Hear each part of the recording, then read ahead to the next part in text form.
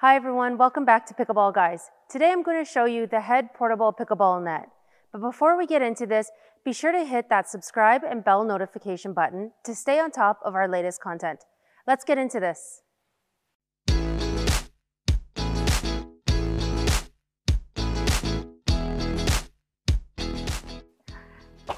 Assembling a portable pickleball net is actually quite simple, and I recommend that we start on one end and then work our way across as opposed to meeting the two ends in the middle.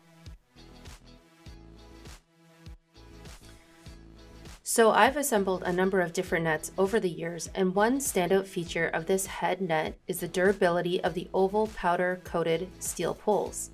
The oval shape really prevents the poles from warping over time, which can often happen with round poles.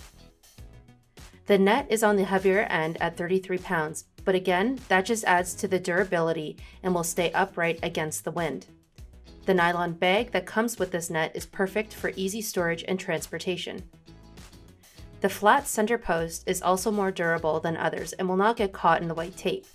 Finally, the net system comes with extra floor protection pads to avoid scratches on your playing surface. This is your tension strap and this will allow you to set the net height at 36 inches high on the sides. What you want to do is take the strap around the pole and loop it through the buckle. Simply tighten and fasten it using the Velcro. And there you go. This head portable pickleball net is available online at pickleballguys.ca.